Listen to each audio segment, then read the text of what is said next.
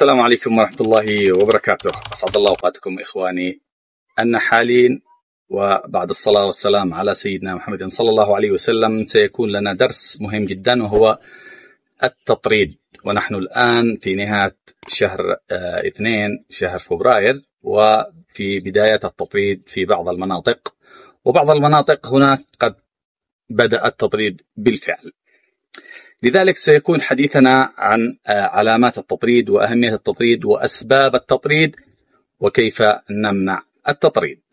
فبداية سنتحدث في آه، باختصار عن آه، أهمية التطريد. التطريد هو غريزة منح منحها الله تعالى للنحل وجعلها سبب من أسباب التكاثر.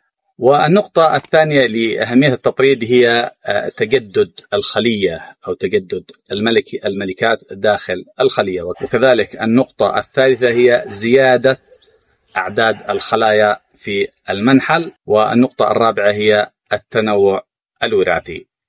أما حديثنا حول علامات التطريد فستكون على النحو التالي. تنقسم إلى نوعان. النوع الأول هو العلامات الداخلية والنوع الثاني هو العلامات الخارجية. سنتحدث أولا عن العلامات الداخلية في الخلية. أول نقطة هي التكاثر أو ازدحام الخلية بشكل كبير وهذا دليل على أن الخلية ستقبل على التطريق النقطة الثانية هي زيادة في أعداد الذكور بشكل كبير وأحيانا يلاحظ النحال آه، بيوت أو حضانة الذكور بشكل مبعثر داخل الخلية. وكذلك انقطاع الملكة عن وضع البيض ووضع البيض آه، أو وضع البيض الغير مخصب. وكذلك آه، ملاحظة سرعة في حركة الملكة وتلبكها وارتباكها في في الحركة وهذا دليل على أن هناك التطريد سيكون مقبل فعلى النحال التركيز والانتباه. أما بالنسبة للعلامات الخارجية التي نلاحظها آه، على الخلية من الخارج وهي نلاحظ اكتظاظ النحل أمام فتحة السروح أو أمام بوابة السروح وكذلك آه، آه، الطيران بشكل دائري أمام الخلية وقلة السروح أو هدوء النحل وقلة السروح. وهذه تعتبر من العلامات الخارجية للتطريد. أما في آه، المحور الثالث سنتحدث عن أسباب التطريد.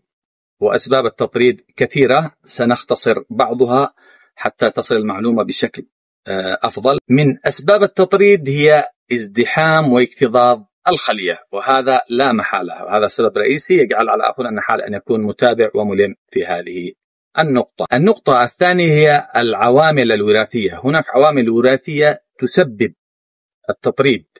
هنا يجب على أخونا النحال أن يكون متيقظ ومنتبه ويدون كل شاردة وواردة في الخلايا أو خلايا المنحل. كذلك من أسباب التطريد هو عدم التوازن داخل الخلية. كيف ذلك؟ ملاحظة وجود أن النحل الحاضن أكثر من النحل السارح. كذلك من أسباب التطريد هو زيادة الغذاء داخل الخلية سواء حبوب اللقاح أو العسل فهذه تسبب كذلك التطريد. كذلك من أسباب التطريد هو عمر الملكة. عمر الملكة الكبير أو المتقدم من الأسباب الرئيسية في التطريد.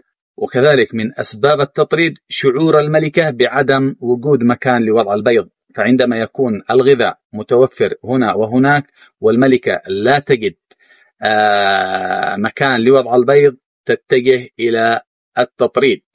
وكذلك من أسباب التطريد هي الظروف الجوية والمناخ المناسب للتكاثر.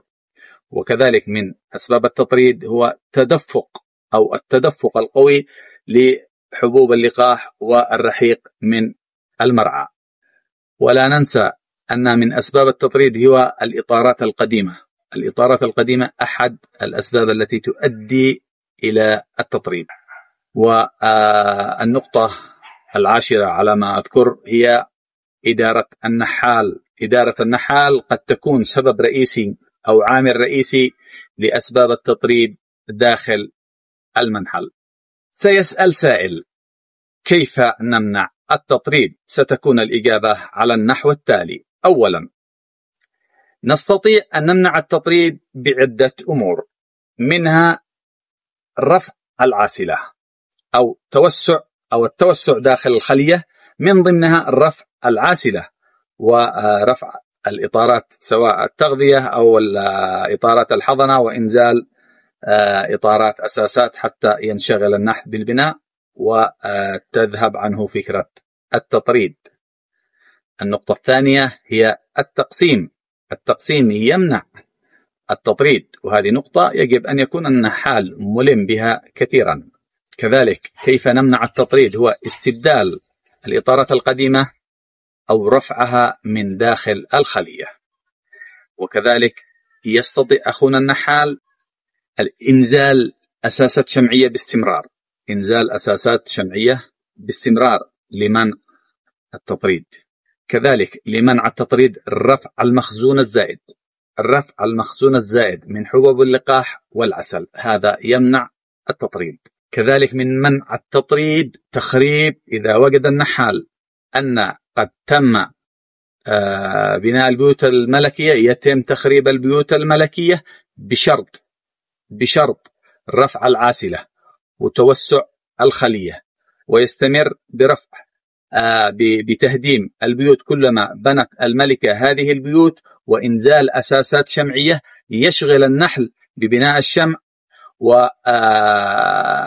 والانصراف آه، عن التطريد.